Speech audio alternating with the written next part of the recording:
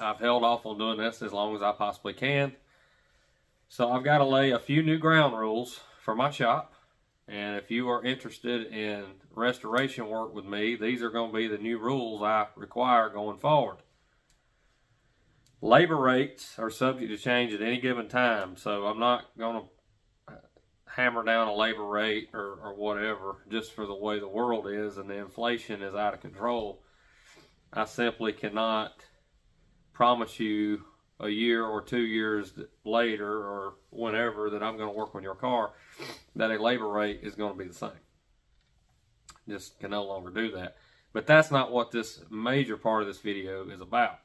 What has spawned this is I am going down my list calling people and people seem to be uh, having things that have came up and whatever and you know life happens and i get that but there's got to be some type of i hate to say it use it like this but some type of punishment for not doing what you say you're going to do.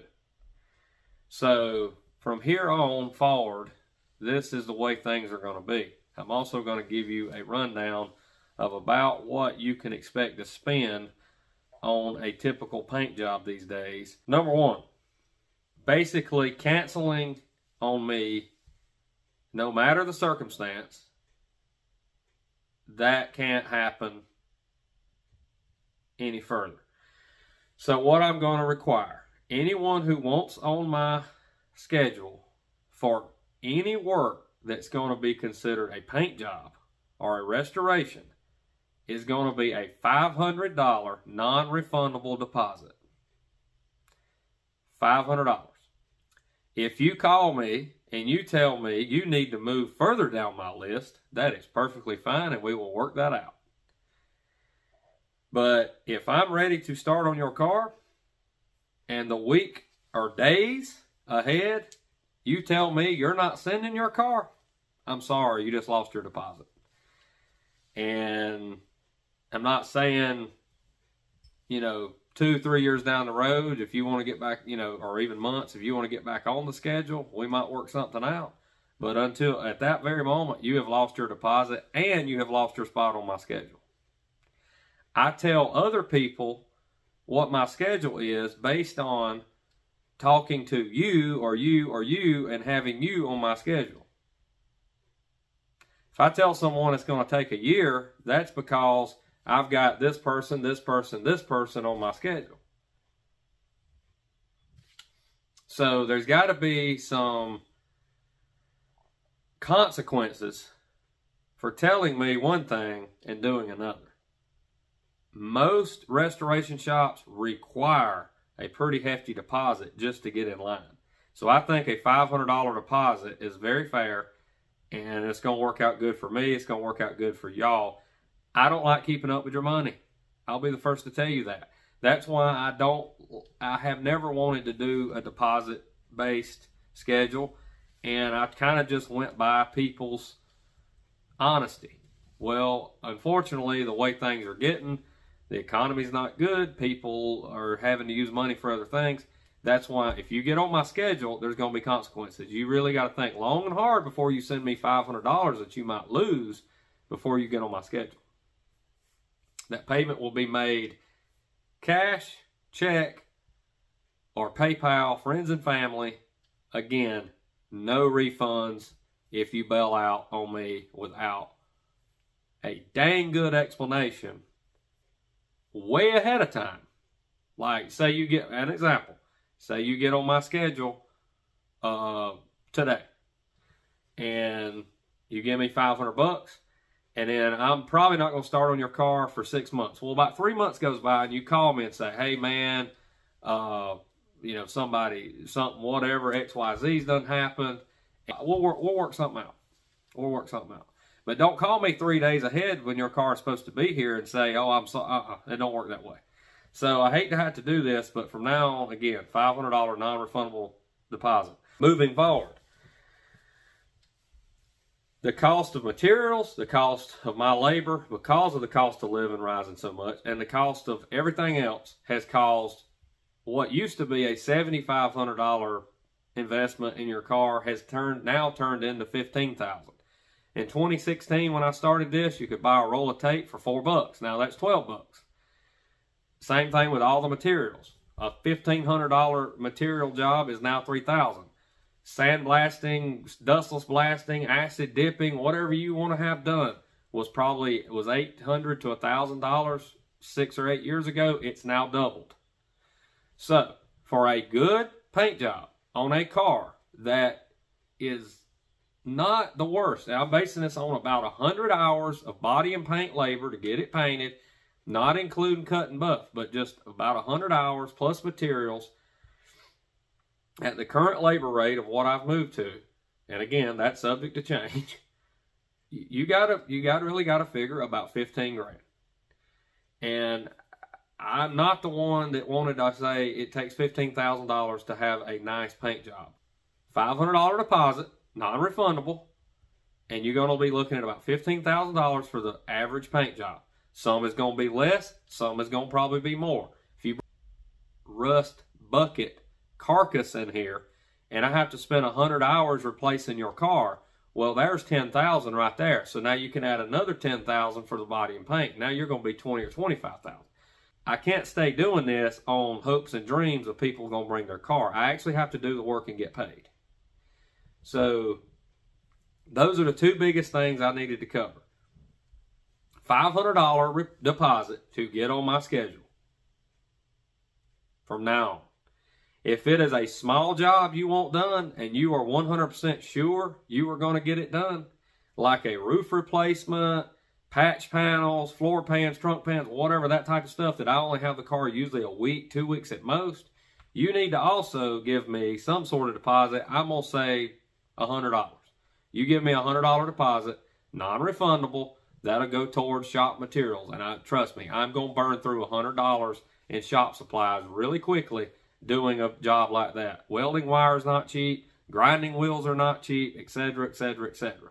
So no, that's going to go to that'll go toward the shop supplies that I burn through anyway. So you'll be well ahead. The money's don't disappear. It, it goes to pay for what it's supposed to pay for. But I've got to have we've got to have some type of something here. You know, it can't be all one sided, and I've let it be one sided because I want my customers to feel comfortable. But I got to get a little more strict here. Number three. When I call you I'm going to give you two weeks. Job's on a two week notice. Well, you get a two week notice to bring me your car. If you say okay, then that's what we're going with. If you say, well, I'm going on this lavish vacation, I'm going to be gone a month. Okay, that's fine. We'll work that out. But otherwise, I'm giving you two weeks to get me your car unless we've made prior arrangements. None of this kicking the football down the road. If you don't have, if you're not ready within two weeks, I'm going on to the next person.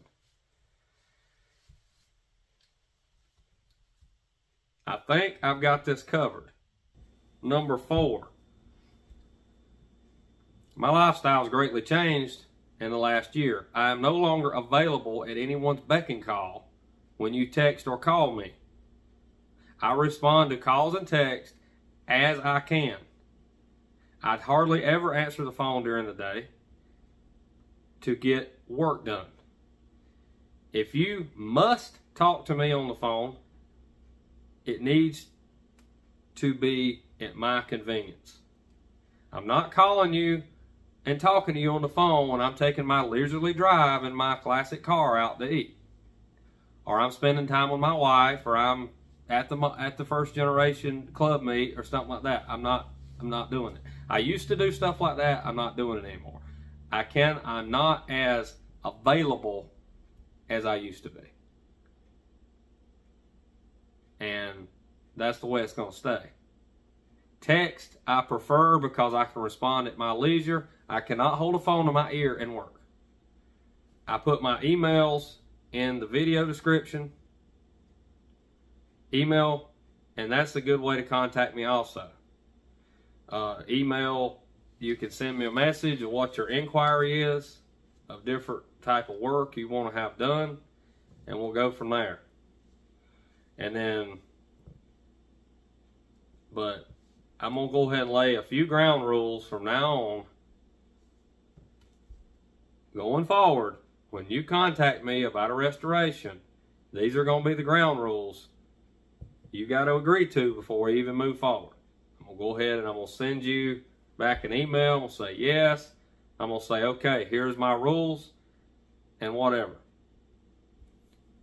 And one very more important thing that also needs to be mentioned. You must have Hagerty or some type, or Grundy, some type of, but I'm going to say Hagerty, collector car insurance on your car before you bring it to my shop. It needs to be covered. I don't do stupid stuff to catch the shop on fire, but I can't control lightning, tornadoes, hurricanes. We've never had any of that here, thank the Lord. But I'm just telling you, all of that stuff needs to be covered, and your car needs to be covered here at my shop. That's your responsibility. It's your car. You cover it. So, no deposit, no schedule. You can get on the schedule, but you better have some insurance before you get here. You um, leave me hanging three days before your car gets here, deposit's gone. Any inquiries, information in the video description, Jared1970 Monte Carlo at yahoo.com. For some reason that email address ever gets corrupted, it'll be in the, my, that's been my email since I've been in high school, but it'll be in the, any new emails would be in the video description also. Any labor rates or any of that will be discussed at the time of when you are actually getting on the schedule. So anyway, with that being said, thanks for watching. We'll see y'all next time. Again, this ain't something I wanted to have to do, but it's something I have to do. Any information, send me a message to my email, and I'll get back with you as soon as we can if we need to discuss it on the phone. I'll be glad to do it again at my convenience and yours, and we'll go from there. So, with that being said, thanks to all my customers and future customers. But this is just something that I had to address, and I think it's going to save me and you trouble down the road. Thanks for watching. We'll see you next time.